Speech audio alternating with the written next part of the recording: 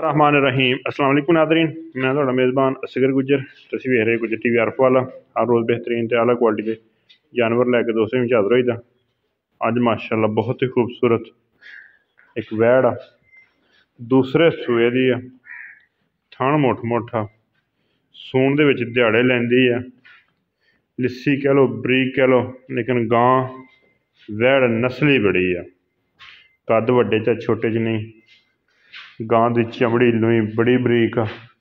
ਥਣ ਬੜਾ ਪਿਆਰਾ, ਵੈੜ ਦਾ। ਮੁੱਠ ਮੁੱਠ ਥਣ। ਦੁੱਧ ਇਨਸ਼ਾਅੱਲਾ 15 14 ਕਿਲੋ ਦਾ ਆਰਾਮ ਨਾਲ ਦੇ ਜਾਏਗੀ। ਇਸ ਗੱਲ ਦੀ ਕੰਨ ਫਰੀਜ਼ਨ ਕਰਾਸ ਦੇ ਵਿੱਚ ਗਾਂ ਫਿਰ ਚਮੜੀ ਗਾਂ ਨੂੰ ਬੜੀ ਬਰੀਕ ਤੇ ਸੀਲ ਸ਼ਰੀਫ ਬੜੀ ਆ। ਰੁਕੇ ਗਦਾ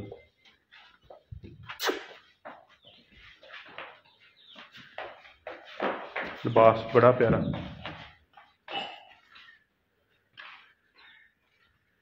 ਥਣ ਬੜਾ ਪਿਆਰਾ ਸੀਲ ਬੜੀ ਲੈ ਇਹ ਲੱਤਾਂ ਵਾਲੀ ਨਹੀਂ ਗੀ ਬਿਲਕੁਲ ਪੂਰੀ ਮੁੱਠ ਪੈਂਦੀ ਥਣ ਨੂੰ ਦੋਸਤਾਂ ਵੇਖ ਲੈ ਇਹ ਚਾਦਰ ਬੜੀ ਪਿਆਰੀ ਵੇਲਾ ਲਿਬਾਸ ਪਿਆ ਸਭ ਭਰਨੇ ਨੇ ਬੜਾ ਬੜਾ ਪਿਆਰਾ ਥਣ ਕਰਮਾਲੀ ਨੇ ਪਿੱਛੇ ਕਰ ਦੇ ਜਰਾ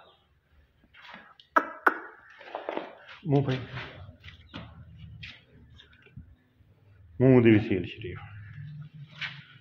ਹਲਤੀ ਕੰਨੀਆਂ ਵਾਲੇ ਦੰਦ ਨਹੀਂ ਕੱਢੇ ਨੇ ਛੱਡ ਦੇ। ਇਹਨੂੰ ਮੋੜ ਦੇ ਪਿੱਛੇ।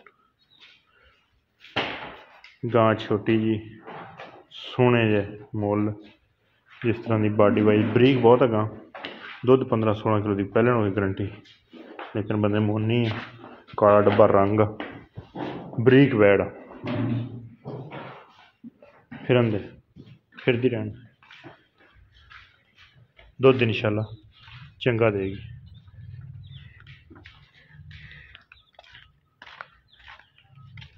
ਜਾਣ ਦੇ ਅੱਗੇ ਜ਼ਰਾ। ਰੋਕ। ਬਾਹਰ ਨਿਕਲ ਜਾਣਾ। ਬਸ ਛੱਡ ਦੇ। ਨਸਲ ਵਾਈਜ਼, ਬਾਡੀ ਵਾਈਜ਼। ਖੁੱਡਾ ਪੁੱਠਾ ਗਾਂ ਨੂੰ, ਇਹਨੂੰ ਵੀ ਸੋਹਣਾ ਬਰੀਕੀਆਂ ਗਾਂ ਕੋਲੇ ਪੂਰੀਆਂ ਵਾ। ਥਣਾ ਦਾ ਵਾਧਾ ਘਾਟਾ ਹੋਵੇ। ਦੁੱਧ ਜਿਹੜਾ ਇਨਸ਼ਾਅੱਲਾ ਦੱਸਿਆ ਵਾ। ਜਿਹੜਾ ਦੱਸਿਆ ਇਨਸ਼ਾਅੱਲਾ ਦੁੱਧ ਉਹਨਾਂ ਪੂਰਾ ਕਰਾ ਕੇ ਦੇਵਾਂਗੇ ਅਗਰ ਕੋਈ ਸੂਈ ਦੋਸਤ ਜਾਣਾ ਚਾਹੇ ਸੂਈ ਜਾ ਸਕਦਾ। ਰੇਟ ਬਿਲਕੁਲ ਨਿੱਕਾ ਜਿਹਾ ਤੇ ਮਨਾਸਬ ਜਿਹਾ ਵਾ। ਲੰਮੀ ਤੇ ਵੱਡੀ ਗਾਂ ਪੂਰੀ, ਬਸ ਥੋੜੀ ਲਿੱਸੀ ਆ। ਐਬ ਬਰਾਈ ਬਿਲਕੁਲ ਕੋਈ ਨਹੀਂ।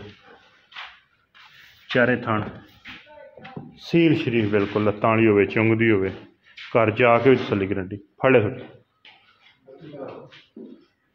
ਛੱਡ ਦੇ ਬਸ। ਛੋਟੀ ਪਾ। ਤੁਰਨ ਫਿਰਨ ਦੇ ਵਿੱਚ ਬਿਲਕੁਲ ਠੀਕ ਠਾਕ। ਰੇਟ ਦਾ ਬਿਲਕੁਲ ਮਨਾਸਬ ਖੜੀ ਰਹਿੰਦੀ। ਰੇਟ ਦਾ ਬਿਲਕੁਲ ਮਨਾਸਬ ਜਿਹਾ ਤੇ ਮਕੂਲ ਜਿਹਾ ਵਾ। 2 ਲੱਖ 80 ਹਜ਼ਾਰ ਰੁਪਈਆ।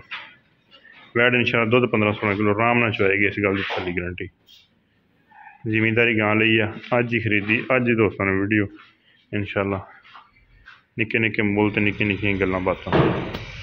2 ਲੱਖ 80 ਹਜ਼ਾਰ। ਅਗਰ ਕਿਸੇ ਭਰਾ ਸਮਝਣ ਉਹਨਾਂ ਦੀ ਰਾਬਤਾ ਕਰ ਲੈਣਾ।